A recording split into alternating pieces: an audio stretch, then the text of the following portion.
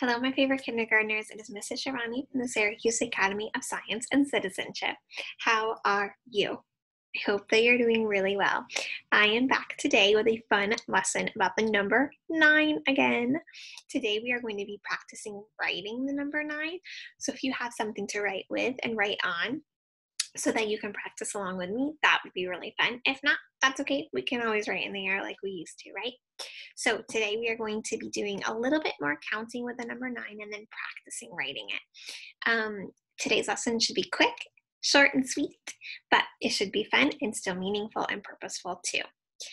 All right, let me share my screen with you and we'll get started with our fluency warm up. We'll do our application problem.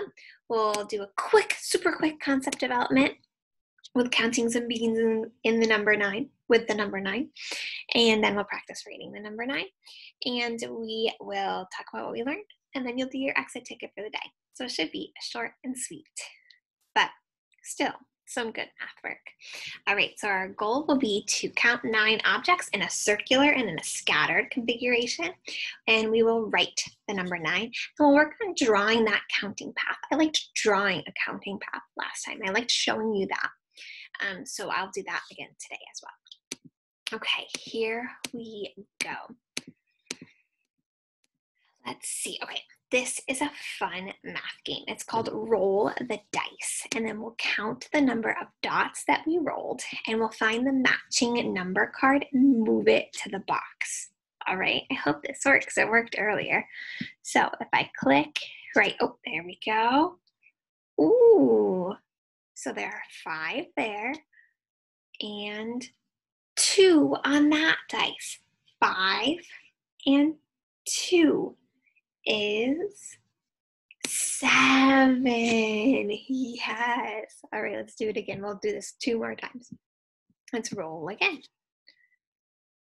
One and five.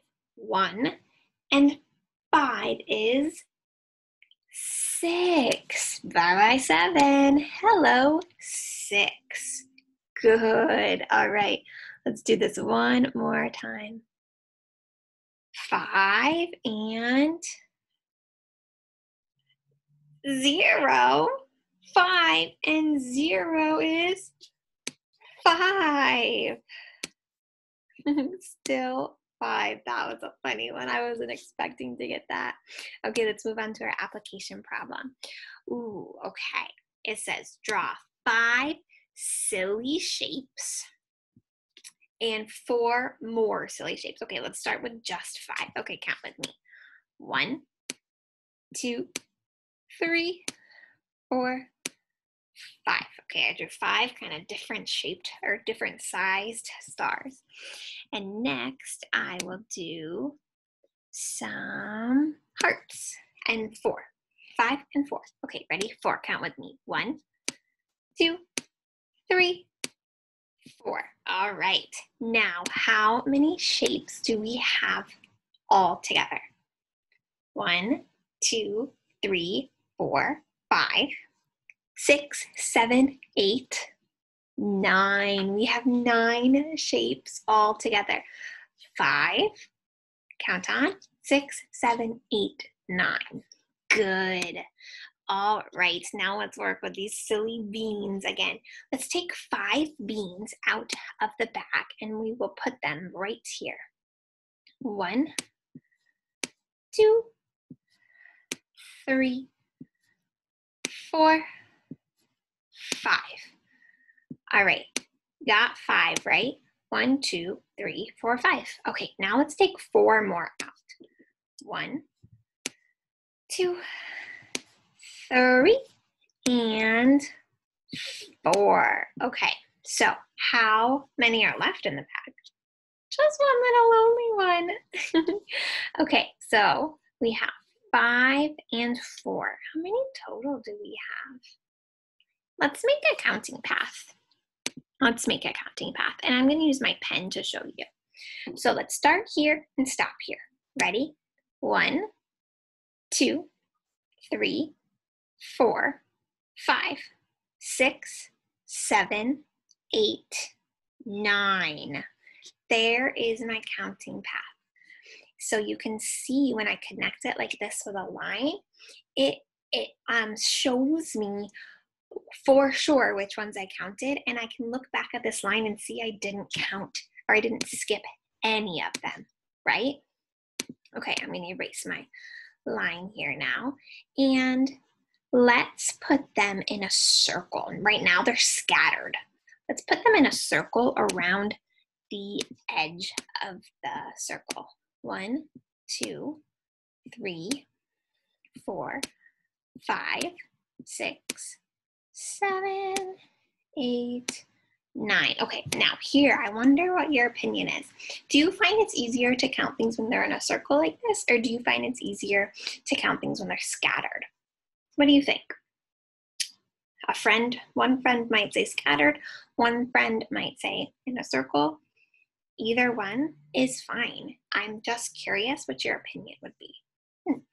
All right, let's practice writing the number nine now. So let's make it with your finger in the air first. And then if you have something to write with and write on, you can do that too. And hoop and a line, that's the way we make a nine.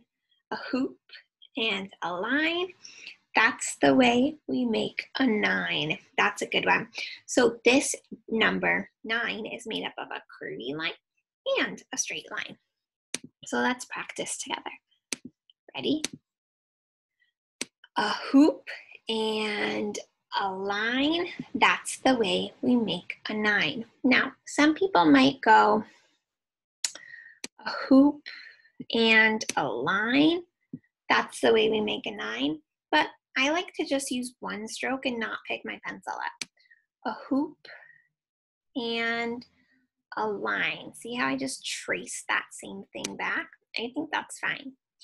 A hoop and a line. That's how we make a nine. I like to not lift my pencil or my marker up at all when I'm doing that. A hoop and a line. That's how we make a nine. A hoop and a line. That's how we make a nine. A hoop and a line. That's how we make a nine. Good work. All right. Let me show you your problem set for the day today. Okay, so whew, now here's where I asked your opinion if you thought it was easier to count things in a circle in an organized fashion or scattered. Because I look at this and this looks a little difficult for me to count, but I think you can do it. So form a counting path, count how many dots, and then choose how many. Count, choose. Oh, wrong. Mrs. Shirvani's wrong. Let's read the question. How many more dots do you need to make nine? Oh, it's so important to be sure that you know what you are doing, huh? That's why I saw this and I thought, hmm, that's not right. That's not the question I wrote. How many dots do you need to make nine? Okay, so let's count. One, two, three, four, five. How many more dots do we need if we want nine? You could draw it when you're trying to figure it out and then choose count how many, and that's it.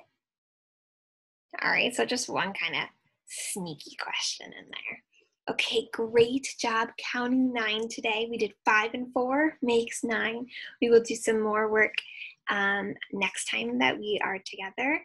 And if you wrote your number nines on paper, send them to me. I would love to see them. Thank you, thank you for all of your super hard work in math. You guys are doing so well.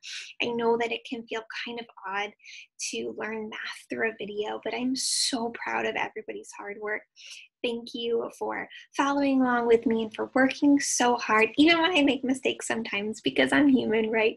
And everybody makes mistakes as long as we learn and we grow from them, right? But that is the most important. So I'll see you guys all very soon with our next math lesson. Have a lovely day, and I will see you next time. Adios.